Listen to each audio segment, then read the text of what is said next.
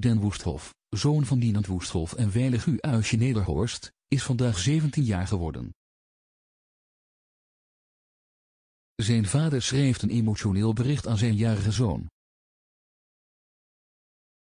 Happy birthday, begint de zanger. Kijk naar jezelf. Zie je het ook?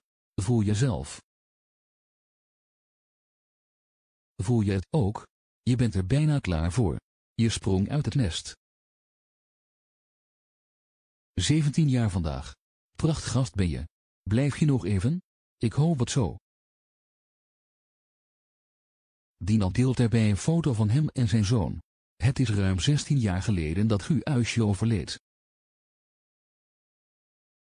De actrice, bekend geworden door haar rol van Roos in GTST, overleed zeven maanden nadat ze met haar grote liefde Dinant Woesthof zoontje Den had gekregen.